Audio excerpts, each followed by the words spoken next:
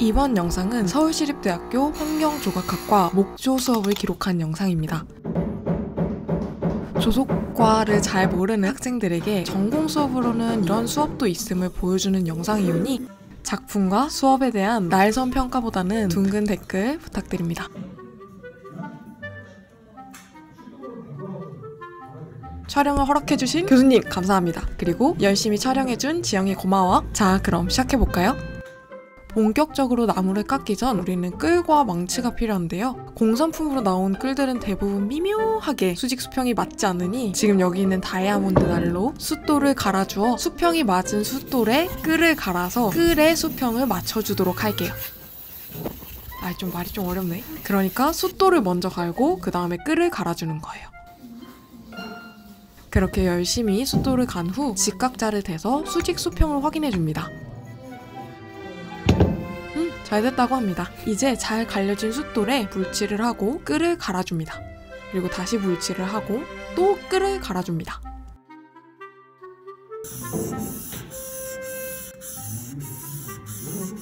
더 고운 숫돌에 갈아주면서 점점 방수를 높여주는 거예요. 그렇게 끌을 가는 과정을 반복해 줍니다. 숫돌을 조립하고 다시 숫돌을 갈고 수평을 확인하고 끌을 갈고 숫돌을 교체하고 다시 끌을 갈아줍니다. 마지막으로 끝부분을 조금 더 샤프하게 다듬어주면 아주 번쩍번쩍하게 갈렸죠? 이랬다가 요래 됐습니다. 그렇게 수평이 맞는 끌이 준비되었으니 이제 나무를 준비해 볼게요. 아, 그 전에 먼저 목 조를 조립할 때 쓰이는 홈의 명칭은 조이너리라고 합니다. 이때 우리가 배워볼 조이너리는 총 두 종류인데요. 하나는 하프 조이너리, 또 다른 하나는 브라이덜 조이너리라고 부릅니다. 우리는 먼저 하프 조이너리를 배워보도록 할게요. 지금 이 무시무시해 보이는 기계 이름은 띠톱 기계입니다. 저렇게 흉악한 기계를 다루는데 장갑을 끼지 않았다고 우려를 하실 수 있지만 실제로 회전하는 공구를 다룰 때 장갑을 착용하면 기계의 날에 손이 빨려 들어가는 사고를 당할 수 있기 때문에 경우에 따라서 장갑 착용을 지양하기도 합니다. 이러한 기계를 다룰 때에는 학생들도 모두 필수적으로 사전 안전 교육을 듣고 교수님 역시 상황을 주시하며 안전에 많은 주의를 요하고 있는 상황임을 알려드립니다.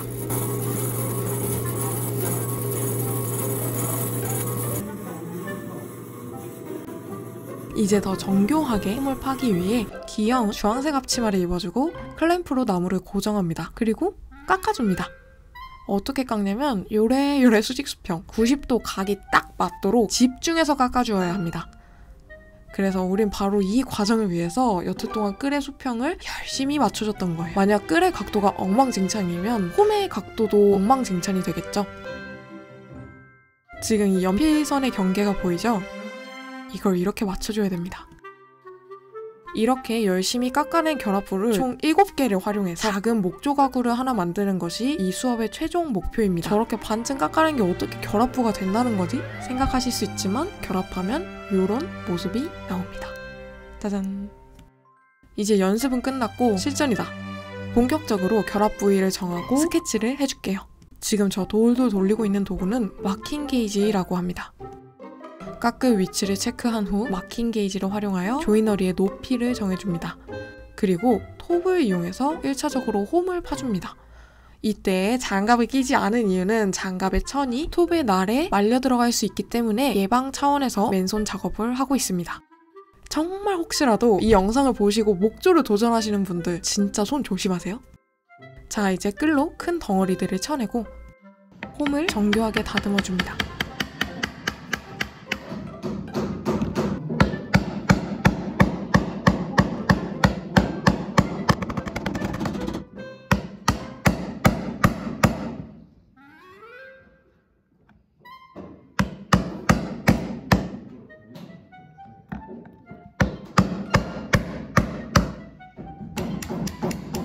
지금 화면에서 자랑하는 것처럼 맞물림이 어긋나거나 헐렁거리지 않고 딱 맞게 되어야 좋은 조이너리입니다. 응, 나도 안녕. 그래서 가까이서 보면 이런 느낌이에요. 정교하죠? 이게 바로 수제 목가구가 비싼 이유입니다. 자, 여기까지 하프 조이너리를 만들어 봤으니 이번엔 브라이덜 조이너리를 만들어 볼게요. 사실 방법은 비슷합니다. 칼선을 표시한 부분을 톱으로 채 썰고 다시 끌로 정교하게 깎습니다. 그러면 이것이 바로 브라이덜 조이너리입니다. 하프는 한 면만 붙고 브라이덜은 두 면이 붙는 거라서 훨씬 견고하고 더 무거운 무게를 견딜 수 있어요. 물론 결합 각도에도 변화를 줄 수 있다는 차이가 있습니다. 하지만 더 어려워요. 이거 수직 수평 잘 맞았다고 자랑하는 겁니다. 그렇게 갈고 깎고 자르고 두드리면서 중간고사 시즌을 보냅니다. 그 말은 즉슨 지금 한 달 반이라는 시간이 거의 5분으로 압축되었다는 거죠. 유튜브 매직입니다. 자, 이제 목조를 할 때 필요한 또 다른 준비물 나무 망치를 한번 만들어 볼게요.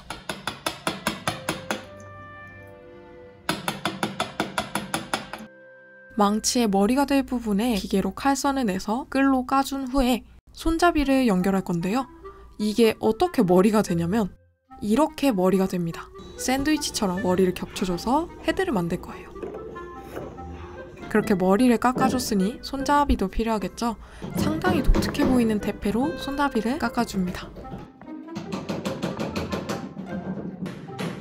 조립을 위해 Titebond를 발라주시고 클램프로 본드가 마를 때까지 헤드를 고정합니다. 그렇게 본드가 마르고 헤드가 고정되었다면 교수님 작업실에 있는 대형 샌더로 라운딩을 줍니다. 이때 라운딩의 목적은 날카로운 나무결을 정리하고 원하는 만큼 부드럽게 깎아주는 것입니다. 바로 이런 식으로요. 그럼 이렇게 아름답게 깎여진 나무들이 나오는데요. 이 녀석들을 조립하기 전에 목공용 오일을 발라줍니다. 흔히 기름을 먹인다고 부르는데 목공용 오일로 코팅을 하는 이유는 오일이 방수, 방충 기능을 하기도 하지만 나무에 발린 오일이 마르면서 조각의 경도를 올리기 때문입니다. 이제 목조와 좀 친해진 것 같으니 이런저런 디자인을 짜보고 동그라미 친 이 디자인으로 작은 협탁을 만들어 볼게요. 세심하게 설계를 해줬다면 보시다시피 이건 나무젓가락으로 만들어본 샘플이에요. 진짜 이 디자인이 서 있을까 싶어서 미리 한번 만들어보는 겁니다. 3D 프로그램을 모르면 이렇게 아날로그 방식으로 해보는 겁니다. 자, 이제 새날이 밝고 이제 작업을 본격적으로 하기 전에 이건 교수님이 사주신 아침밥입니다. 배가 고프면 작업에 집중을 할 수 없어요. 자, 본 작업의 재료는 호두나무로 주문했습니다. 상판도 호두나무, 바디 프레임도 호두나무로 만들 거예요. 도면에 그린 대로 나무에 재단선을 표시를 하고 열심히 작업을 하다가 중간중간 넋이 나갑니다. 이렇게 넋이 나간 이유는 내가 지금 잘하고 있나 점검 중이기 때문입니다. 요게 상판이 될 판이에요. 그리고 7개의 조이너리를 위한 7개의 프레임입니다. 이제 무한으로 깎아주면 되는데요. 이게 집중력을 정말 많이 요하는 작업이라서 배가 많이 고파집니다. 그래서 교수님이 아침밥을 먹이신 거예요. 교수님 감사합니다. 그렇게 몇 시간을 정신없이 집중을 하고 집을 갑니다. 하지만 우리는 미래에서 왔기 때문에 다시 학교 목조실로 돌아왔어요.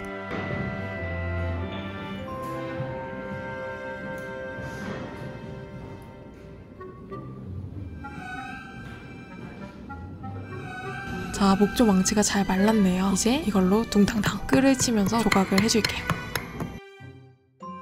여러분들은 지금 당근이 열심히 나무 깎는 모습을 보고 계십니다. 사실 이 원본 영상의 거의 대부분이 깎거나 가는 과정입니다. 그렇게 시간을 들여서 재료를 재련하고 다듬는 과정을 거치면서 다음 단계를 밟아가는 거죠.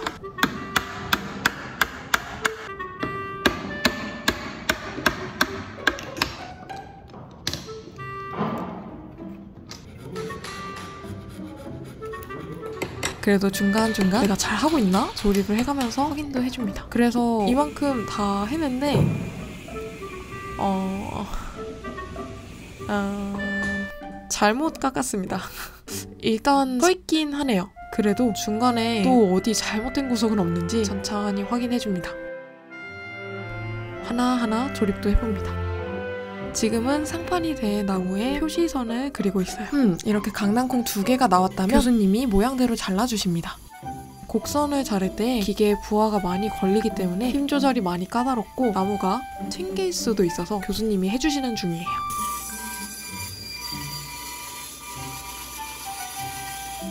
그렇게 상판이 잘 내어졌다면 사이드의 결도 정리합니다. 자, 귀엽죠? 부착 전 위치를 확인해 볼게요. 약간 귀여운 듯 하면서 이런 느낌으로 연출을 할 거니까 이제 프레임을 고정해 볼게요. joinery에 Titebond라는 목공용 본드를 바르고 클램프로 고정합니다. 그렇게 프레임을 먼저 고정하고 위에 상판을 고정시키면 끝입니다. 사실 끝은 아니고 아직 최종적으로 마무리해야 될 단계가 있어서 그 마무리 단계는 학교에서 하기 위해 작품과 함께 집으로 가는 중입니다. 아, 이 영상만 봐도 힘듦이 느껴져. 난 졸업했는데. 마무리 작업은 바로 사포 제거, 오일 바르기입니다. 사포로 겉면에 있는 본드 자국을 모두 갈아내고 흠집 정리를 하면서 표면 마감을 해줍니다. 사포질을 할 때 중요한 점은 여태 동안 만든 프레임이나 상판은 수평을 맞춘 작품이기 때문에 수평이 맞는 나무에 사포를 붙여서 갈아내줘야 한다는 점입니다. 사포질에는 노하우가 따로 있는 건 아니고요. 그냥 서로 갔다 앞으로 갔다 뒤로 갔다 쏙 비벼. 네, 자꾸 비벼주면 됩니다. 여기서 이게 진짜 노가다인 이유는 기름을 먹이고 기름을 말리고 갈고 다시 먹이고 다시 말리고 갈고 하는 과정을 한 세네 번 정도 반복을 해줍니다. 그렇게 광이 날 수 있도록 헝겊이나 면으로 꼼꼼히 닦아주면서 최종 마무리를 해주면 전시 준비가 완료됩니다. 이 작품으로 전시 설치까지 하면은 한 학기 동안의 목조 수업은 마무리됩니다. 이 작품을 감상할 때 감상 포인트가 뭐냐고 물어봤더니 우선 한 선으로 이어진 듯한 프레임의 연출과 이 joinery가 이어진 부분의 완성도라고 했습니다. 이 부분이 들뜸 없이 딱 맞게 컬러가 교차되는 표현에 신경을 많이 썼다고 하네요.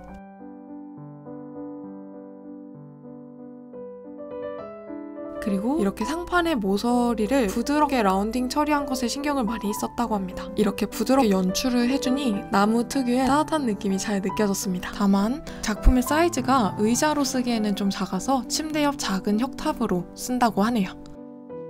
이렇게 한 학기 동안 이루어진 환경 조각학과 괄호 열고 조속과 괄호 닫고 전공 선택 수업 목조 수업 과정을 소개해드렸습니다. 저희는 이런 전공 수업을 한 학기에 최소 한 개에서 최대 세개 정도 수행을 해야 하는데요. 사실 이와 같은 실기 위주의 수업은 성적의 결과보다는 과정에 많은 집중을 요합니다. 그 과정에는 노동력, 자본, 시간, 기술 정말 많은 에너지가 필요합니다. 물론 학생 신분으로서 할 수 있는 한계 역시 분명히 존재하고 그리고 그 과정을 견디는 것이 때로는 고통스러울 수도 있다라고 생각을 합니다. 하지만 그럼에도 불구하고 많은 국내 예대생 학생들이 기꺼이 예술을 학습하는 이유는 노동에 소외되지 않고 본인의 과정과 결과에 집중하는 기쁨을 반복해서 학습하는 거라고 생각해요. 라고 혼자 방구석에서 추측해봤습니다. 저는 이러한 학생들의 노력과 열정이 조금이나마 더 잘 알려졌으면 하네요. 여기까지 영상을 시청해주셔서 감사하고요. 본인의 과정을 공유해준 지영이에게 고맙다는 말을 남기면서 다음에 또 다른 영상으로 만나요. 안녕!